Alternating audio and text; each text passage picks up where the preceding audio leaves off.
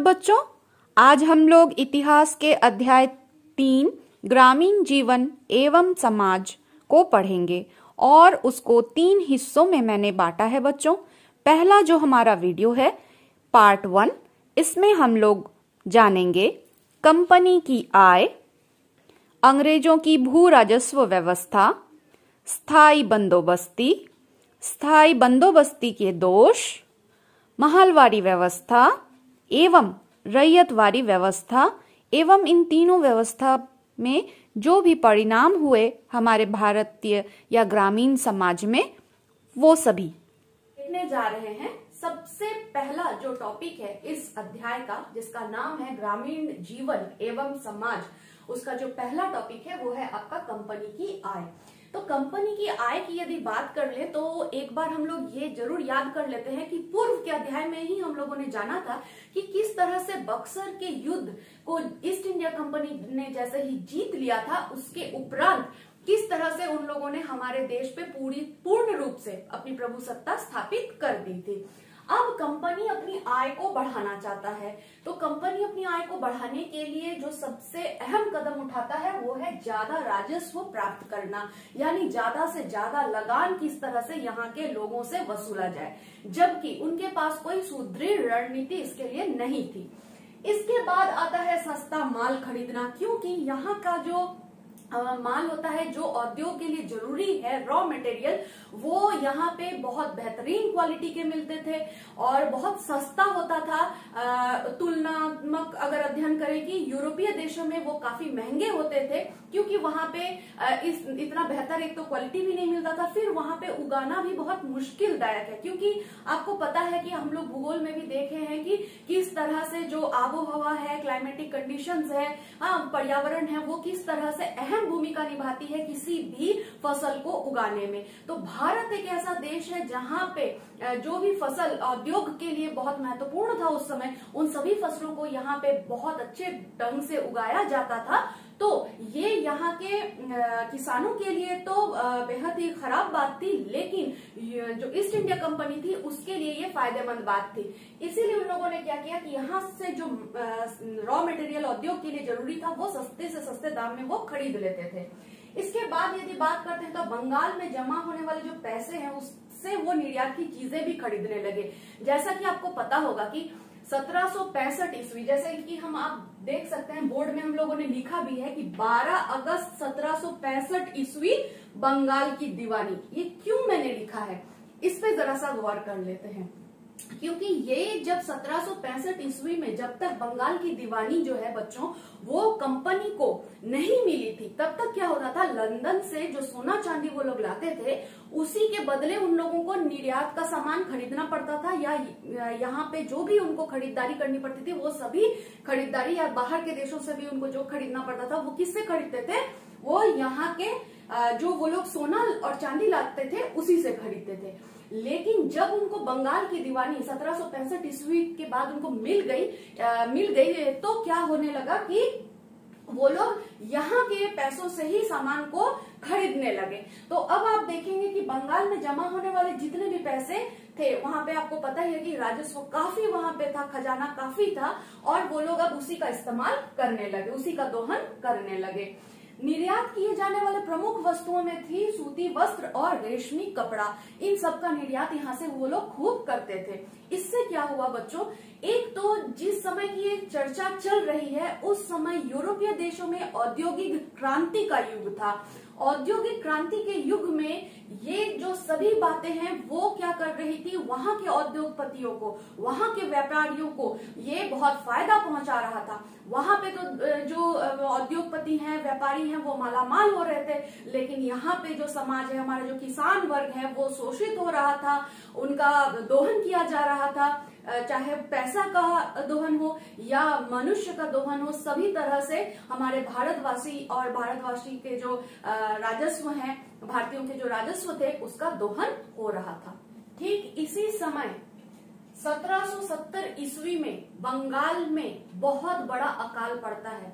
क्योंकि वहाँ की अर्थव्यवस्था जो है वो पूरी तरह से चरमरा गई थी। जो कारीगर थे, वो सब कंपनी के इस तरह के बर्ताव के कारण पलायन कर रहे थे और इतना ज़्यादा दोहन हो रहा था कि 1770 ईस्वी में बंगाल में अकाल पड़ा और इसमें अनुमान किया गया कि एक करोड़ से भी ज़्यादा लोगों की मौत हो गई इसमें। अब बच्चों, हम लोग बात कर लेते हैं कि अंग्रेज़ों की भू राजस्व व्यवस्था की। तो जैसा कि हम लोग जानते हैं कि भारतीय अर्थव्यवस्था जो है, वो पूरी तरह से नष्ट हो रहा था, पूरी तरह से खराब हो रहा था अंग्रेज़ों के शासनकाल में। अब अंग्रेज़ों को ये लगने लगा था ईस्ट इंडिया कंपनी को किसी भी हालत में कृषि में सुधार लाना है और भूमि पे निवेश करना है। तो कुछ भू राजस्व व्यवस्था की कुछ व्यवस्था जो यहाँ पे हम लोग इस पार्ट में पढ़ेंगे तो उसके बारे में यहाँ पे हम भी हम लोग चर्चा करने वाले हैं। लेकिन बच्चों, ये जो चर्चाएँ हैं, ये सिर्फ़ हम लोग बिंदुवार करने वाले हैं, क्योंकि बाकी तो आप किताबों में पढ़ लेंगे। लेकिन कुछ महत्वपूर्ण चीज़ें जो आपको हमेशा याद रखना है, उन महत्वपूर्ण बातों को मैंने यहाँ पे लिखा है, आप इसको ध्यान से देखिए। सबसे पहली बात जो है, ये है कि ये स्थायी बंदोबस्ती जो है, वो पहले लागू किया गया। कब लागू किया गया? 1793 ईस्वी में।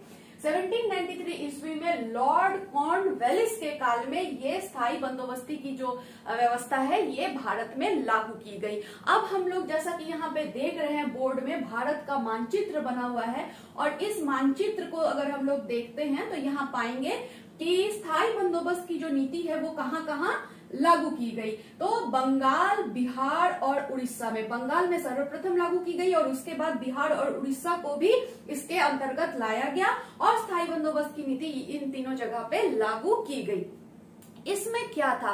इसमें जमींदार जो है उसके साथ ईस्ट इंडिया कंपनी का एक समझौता होता है कि वो लोग पूरे राजस्व को इकट्ठा करेंगे किसानों से और फिर जमा करेंगे। तो यहाँ पे जमींदार जो है उनको सशक्त करना और उनका समर्थन लेना, ये ईस्ट इंडिया कंपनी का एक महत्वपूर्ण उद्देश्य इस स्थायी बंदोबस्त नीति का था। अब होता ये है कि किसान जो है, वो पूरी तरह से अब मजदूर बन जाता है, क्योंकि जमींदार जो है, वो ज़बरदस्ती उन लोगों से काम करवाते हैं, वसूलते हैं, उनसे राजस्व वसूलते हैं। और ईस्ट इंडिया कंपनी का था कि यदि कोई जमींदार कर नहीं चुका पाता, राजस्व नहीं दे पाता है तो उसे जमींदारी से हटा दिया जाता था। ये जमींदार बिल्कुल होने नहीं देना चाह रहे थे। इसके साथ ही साथ जब ये स्थायी बंदोबस्ती नीति लागू की गई बच्चों तो इसमें ये हुआ कि ईस्ट इंडिया कंपनी ने ये तय नहीं किया था कि कितना राजस्व लगाया जाए। अब जमींदार जो है वो किसान को पूरी तरह से शोषित कर रहे थे। क्योंकि कभी भी मौसम अगर किसान के अनुकूल नहीं रहा खेती के अनुकूल नहीं रहा तो भी किसानों को उतना लगान देना पड़ता था जमींदारों को। तो किसान के जो हालात हैं, वो इस नीति में बहुत ही बद से बदतर होते चली गई। अब यहाँ पे देखेंगे कि लगान कितना देना पड़ता था। तो जो उपज होता था, दस, ग्यारहवा भाग का दसवां भाग जो है, वो सरकार को दे देना पड़ता था। ठीक है? और एक भाग जो है वो जमींदार खुद अपने पास रख लेता था। पारिश्रमिक बोल लीजिए या वो जो किसानों से काम करवा रहा है, इसके एवज में। यानी यदि हम लोग देखेंगे कि इसके बाद भी जमींदार जो है वो जितना वो सरकार को जमा कराता था राजस्व में, इसके बाद भी उसके पास काफ़ी पैसे बच जाते थे। और इससे हुआ ये कि कारण ईस्ट इंडिया कंपनी ने इसे लागू किया। ईस्ट इंडिया कंपनी को कोई फ़ायदा वैसा नहीं हुआ, लेकिन जमींदार जो है, वो काफ़ी सशक्त हो गए। उनके पास काफ़ी धन एकत्र हो गया। अब इसके बाद जैसे ये व्यवस्था जो है वो सही नहीं रही तो इसके बाद महलवाड़ी व्यवस्था लागू किया गया और वो 1822 ईस्वी में लागू किया गया महलवाड़ी व्यवस्था। महलवाड़ी व्यवस्था को लागू करने वाले जो थे, उनका नाम था हॉल्ट मैकेजी। हॉल्ट मैकेजी के समय महलवाड़ी व्यवस्था को लागू किया गया। महलदार किसको कहा गया? यहाँ पे क्या था बच्चों की गाँव या फिर समुदाय को ही जो है वो भूमि का स्वामी मान लिया जाता था। लेकिन राजस्व इकट्ठा करने का जो है वो जिम्मा अब जमींदारों से हटा के वो मुखिया को, गाँव का जो मुखिया होता था, उनको दे दिया गया। तो महलदार उन्हीं को कहा जाता था, जो गाँव के मुखिया होते हैं, उन्हीं को महलदार कहा जाता था। और उनके ऊपर यह दारोमदार था कि वो किस तरह से राजस्व को इकट्ठा करे और ईस्ट इंडिया कंपनी के राजस्व में उसको खजाने में उसको जमा करवाए। तो पहले उपज का 80 प्रतिशत भाग जो है, वो लगान के रूप में दे देना पड़ता था। लेकिन बाद में जो है, विलियम बेंटिक ने इसे घटा के इसमें थोड़ी सी कमी करके उसको 66 प्रतिशत किया। अब हम लोग देख लेते हैं कि भारत के मानचित्र में कि कहाँ कहाँ ये महलवारी व्यवस्था जो है, वो लागू किया गया। तो महलवारी व्यवस्था जो है, वो पंजाब उत्तर प्रदेश और मध्य प्रांत। इन जगहों में ये महलवारी व्यवस्था को लागू किया गया जैसा कि हम लोग मानचित्र में देख पा रहे हैं। यहाँ पे एक और व्यवस्था की बात करते हैं तो वो है रैयतवाड़ी व्यवस्था की। तो रैयतवाड़ी व्यवस्था क्या है? रैयतवाड़ी व्यवस्था अगर जान आ, हम लोग उसको और ज़्यादा गहराई से जानेंगे तो हम लोग देखेंगे कि वो ना सत्रह यानी 1792 ईस्वी में ही सबसे पहले मद्रास के एक प्रांत में लगाया गया था। लेकिन पूर्ण रूप से थॉमस मुनरो जो है वो 1820 ईस्वी में रैयतवाड़ी व्यवस्था को पूर्ण रूप से लागू करते हैं क्रियान्वित करते हैं। तो रैयतवाड़ी व्यवस्था जो है वो 1820 ईस्वी में लागू होती है और इसको लागू करने वाले जो है, उनका नाम था थॉमस मुनरो। अब हम लोग देख लेते हैं कि वो कहाँ कहाँ लागू किया गया था। तो बच्चों, वो बम्बई और मद्रास प्रांत जो है बम्बई और मद्रास, वहाँ पे रैयतवाड़ी व्यवस्था जो है वो लागू की गई। रैयतवाड़ी व्यवस्था में क्या होता था? रैयत किसान छोटे छोटे किसान, वहाँ पे इन जगहों पे रैयत वाली व्यवस्था लागू करने का कारण यही था कि यहाँ पे कोई बड़ा किसान या जमींदार नहीं था इन सब प्रांत में। तो यहाँ पे जो छोटे छोटे किसान थे, उन्हीं को रैयत या भूमि का स्वामी मान लिया जाता था और उनके साथ ईस्ट इंडिया कंपनी का सीधा समझौता हुआ। उपज से प्राप्त आय का आधा भाग, उपज से प्राप्त आय का आधा भाग लगान के रूप में उन्हें ईस्ट इंडिया कंपनी को जमा करना होता था। तो बच्चों, अगर हम लोग इस पूरी व्यवस्था को देखेंगे और आप किताब में इसको और बेहतर अच्छे से रीडिंग डालेंगे तो आप देखेंगे कि सभी जितने भी व्यवस्था लाया गया, इसमें भारतीय किसान जो है ये पूरी तरह से इनका दोहन हुआ, इनका शोषण हुआ और भारतीय अर्थव्यवस्था भी चरमरा गई। साथ में भूमि का जो हाल है, वो भी चरमरा गया, क्योंकि किसानों से ज़बरदस्ती भूमि पे फ़सलों की को उपजाया जाने के लिए उन्हें ज़बरदस्ती किया जाने लगा और जिससे कि किसान जो है, वो तो जो कर्ज नहीं दे पा रहे थे, उनको कभी कभी जेल में भी डाल दिया जाता था साथ ही में उनको, उनके जमीनों को छीन लिया जाता था। तो ऐसे सारी नीतियाँ जो है, ये भारतीय किसान के लिए बहुत ही हानिकारक साबित हुई। अब बात कर लेते हैं बच्चों की भू राजस्व व्यवस्था के परिणाम क्या क्या हुए? ये जो सारी व्यवस्थाएँ हम लोग अभी पढ़े, उसके परिणाम क्या क्या हुए? तो सबसे पहला जो हम लोगों ने पढ़ा वो है स्थायी बंदोबस्ती की व्यवस्था। तो स्थायी बंदोबस्ती की जो व्यवस्था है, इसका क्या परिणाम हुआ, इसको जरा सा हम लोग देख लेते हैं।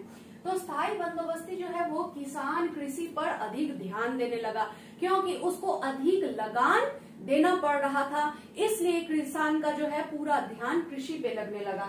जमींदार जो है वो स्थायी रूप से अब भूमि के मालिक बन गए इस बंदोबस्ती की नीति से। इसके बाद किसान से मजदूर में वो परिवर्तित हो गए। हम, जैसे कि अभी हम लोग चर्चा कर रहे थे कि किसानों को ज़बरदस्ती काम करवाया जा रहा था, अब वो भूमि उनके हाथ में रहा नहीं, वो जमींदारों ने ले लिया था, उस पे उसका स्वामित्व अपना। और इसी वजह से किसान जो है वो अब अपनी ही ज़मीन पे मजदूर बन के काम करने लगा। अब बात करते हैं कि इससे क्या हुआ? एक तो किसान जो है वो मजदूर बन गया। भूमि की जो उर्वर क्षमता है, उसकी रास हुई। साथ में जमींदार जो है वो सशक्त बन गए।